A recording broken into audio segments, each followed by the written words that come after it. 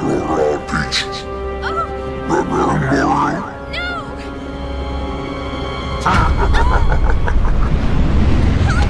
you know what? I feel bad enough. Just, just leave me alone.